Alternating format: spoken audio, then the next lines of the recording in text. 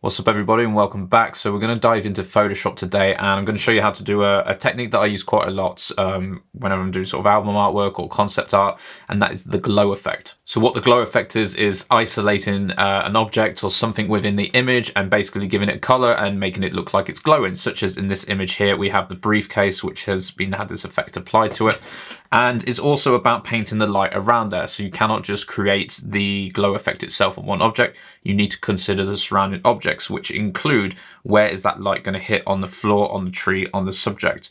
Do we need to make the subject stand out more against the background? And as an added little treat, just throwing in some elements too, to basically take this photo from here over to looking like that. So let's get into it. So if we look at the final thing we're going for compared to the original, then it's obviously this looks like it's been taken during the day, so we need to change that to night. We need to isolate the suitcase here and give it that glow effect, and then we also need to look at painting some light. Just to add a little bit more mystery on as well, we're going to bring in some smoke. So the first thing I will always do then is actually make a copy of this layer. Uh, first of all, I'm just going to put those two together. Uh, I just get in a habit of always making a copy of my base layer just in case I really screw things up along the lines, I know I've got my original to work with there. So I make a copy and I'm going to pull apart this briefcase as well by going over to the selection tool, quick select tool, and I'm just going to pull around that. Now I may not be going for perfect, but do make sure you take some time with this. Zoom in, you can use the option key to always remove some. So say I go a little bit too far like that, I can hold down my option key and I can paint back over that to try and select what I want. Once I'm happy with that, I can then make a new mask, or if I'm extremely happy, I can just copy and paste that layer there as so. But I could also do this as a mask. For this case, I'm just going to copy and paste it across. Now, before I go any further, we've isolated our subject there of the briefcase. That's what we're going to do with the glow effect, but we need to turn this into night. So how do we turn this into night then? I can go over it and spend some time doing some different photos, or I can simply go over the top of this and do a color lookup. I can then go through the different LUTs that are loaded in here and find one that basically suits nighttime. Moonlight's usually quite a nice one to work with, so if I apply that over the top, boom, looks like it's at night. Now, this may be too much, so I can go over here to my opacity and I can bring that down to a more reasonable level. I can't remember exactly what I had it set on before, but now it's starting to look like we have a night. Okay, so now I've got that looking more like night. I'm going to duplicate uh, this sort of briefcase layer there and pull this above. And I'm going to convert this to a smart object, right click and convert. I'm not too worried about the color because I'm going to fix that later on. What my aim is here is now to start to get that glow effect. So I'm also going to change this across now to a linear dodge. Again, that is brightening things up a bit more, but I'm going to go up to the filter top here, down to blur, Gaussian blur. And I'm going to start off small around 5 for this one, duplicate the layer, go back into the blur on it, and I'm going to increase this one to about 20. Duplicate the layer one last time, and then I'm going to pull this one right the way up here. And you can see the more I go up, the more I get that sort of outline of the glow coming around the briefcase there. So I don't want it to look too unnatural, as in really far up. I want it to just look like it's glowing from the center and you've got this little bit of a glow coming around the outside. So that's looking nice around there. And you can't always get this from effect from the same thing. So you see as we build up those layers, that glow really starts to come out from it. If I take away any one of these layers, then we lose an aspect of that glow. Once I've got the three of those uh, together there, then I can group all of that together by selecting all of my layers, right click and group layers. And we'll just go with group one for the moment. So now that I've got that, I need to change the color of my briefcase uh, to whatever I want to match the scene I'm going for here. Originally we had a very blue tone going on, so I'm going to copy the same thing, create a hue and saturation layer to go with that. And I really want this to pop. So what I'm going to do is go down to click colorize. I'm going to just level the saturation back to zero. I'm sorry, not zero, 50 there. And then I can drag all of this along, but we can see it's affecting everything. So I need to clip this just to the group, the briefcase that we've got. And I'm going to pull that along until I get that nice sort of turquoise, not even a turquoise blue, it's just a light blue. and then boost the saturation on that. And you can see we really get that nice glow effect. Okay, so briefcase is looking pretty good, but I think we can still get a little bit more of a glow around this. So I'm actually going to go back into my group here and I'm going to make a new layer which is um, just basically going to paint over the top and just create that little bit more glow around the briefcase and this is a similar technique we're going to do when we go around the outskirts of the tree as well.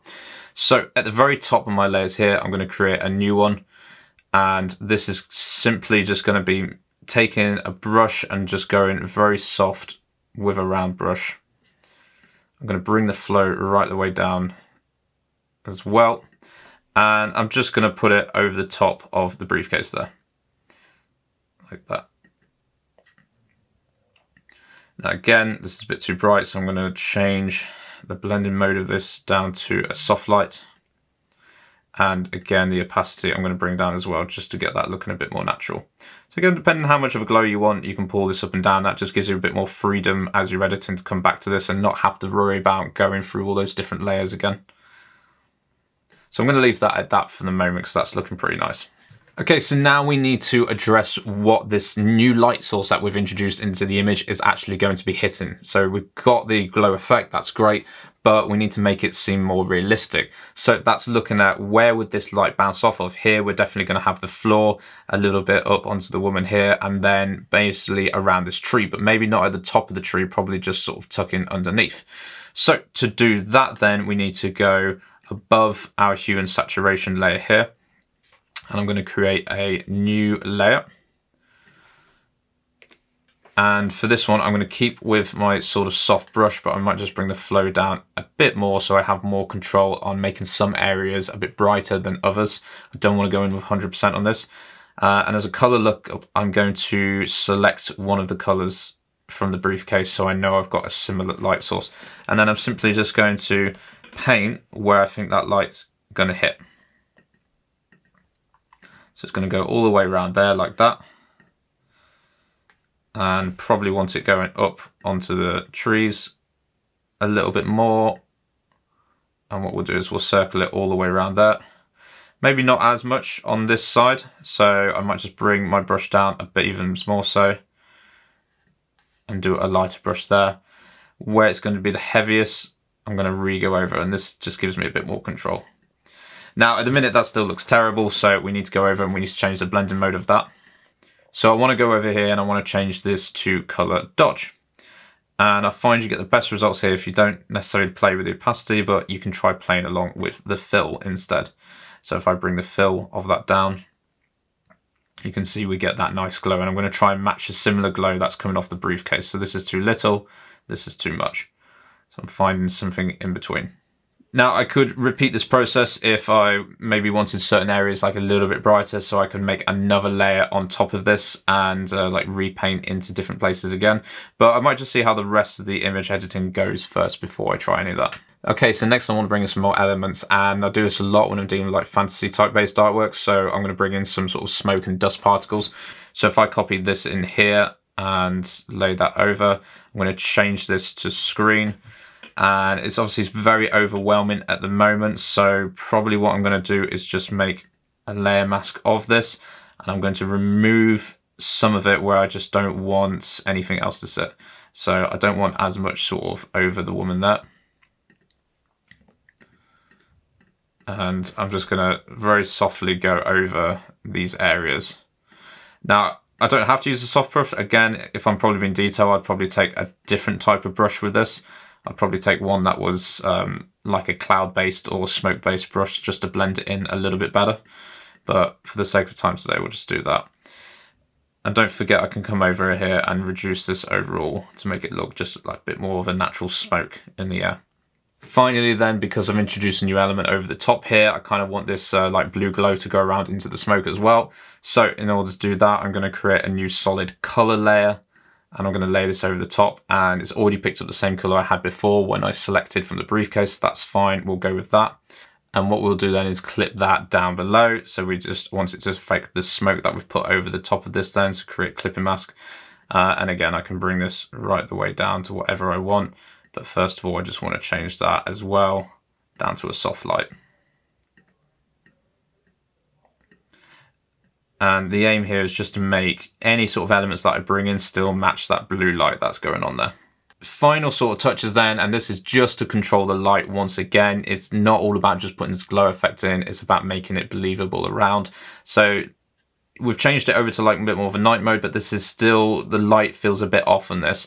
So what I would do is create some, um, do some dodging and burning, and I can do this with the dodge and burn tool. I can do this with curves, or I can just do it with the brightness and the contrast. So if I just go for brightness and contrast, I'm going to bring the brightness right the way down. I'm simply going to go over with a soft sort of brush and paint in these sort of darker areas that we've got in the image I'm almost giving it like a little vignette around the sides there. There we go. Again, I'm being very sort of rushed with that, but it's just darkening down any bits of the image. It's pulling my eye into the middle where that glow is going to be. That light's not really going to hit above the branch there, so I'm going to pull that in. And then I'm going to do the same thing, but go the opposite direction. So I'll bring in a brightness and contrast. I'm going to brighten the image this time and I'm just going to paint over any sort of areas where we would have that light coming in. So around the tree there, on the ground, and the subjects, around this area here. Not so much the background behind though. And again, being very, very sort of quick with this. The great thing about this is you can always go in afterwards and you can, even once you've done the mask, sort of bring this up and down to find the right level that you have with that there. Um, but let's keep it for that. And the very last touch that I probably want to do is just select my subject and just make them pop that very last little bit more. So I'll go over there, select my subject. I could use the subject select tool as well here actually. I don't have to just do it like this. Um, but let's get that in. There we go create a new layer with that in and uh, then yeah I'll do some color curves some anything I want really just try and make that subject pop out a bit more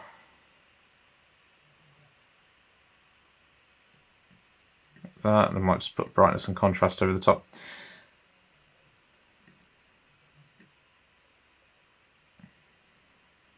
There we go then. Very rough and obviously lost some details on top of there. But the point is to make your subject stand out a bit more as well. So different ways to go about that. Obviously you could throw this into Lightroom. You can do some work in there if you want as well. But the purpose of what we've done here is create the glow effects on uh, the suitcase. So you can do this on any sort of item or anything that you've got uh, within your photo, but then you need to consider where that light source is around. So we've gone on top of our group and then we've painted in the same colored light by selecting the color in here and looking at where that light's going to hit, painting that back in, and then going around that image and sort of reducing the brightness and contrast, just doing that dodge and burning, really trying to make the scene like as believable as possible from a light source. So when you do go back to that original photo, it looks drastically different. So I hope you enjoyed that. I really love doing these kind of like edits. Um, just because it's not meant to be believable so you can really put your imagination to use of uh, what could you do to tweak this and just, just make this image stand out. It's a good way to use photos sometimes if you're not really sure what the purpose of this photo is. Say you've gone out and you've taken a load and you know you like the looks of it but just doing sort of a standard edit isn't good enough see if you can incorporate it into a piece of artwork or sort of a concept piece. So never just like throw away or delete your photos. I have so many raw photos that I've not used in the past and then I kind of look through them when I'm doing different projects and I'll actually pull them out and use, it might be the whole thing, it might be the background, it might be an element. It's just my own stock library of images. So never get rid of photos just because you're not sure they would make a good print. You can always do so many different things to them to turn them into something special. So I hope you like this one. Please do like, comment and subscribe below. I'm going to have a massive mixture of videos still coming out soon. Thanks for your support so far and I'll see you in the next one.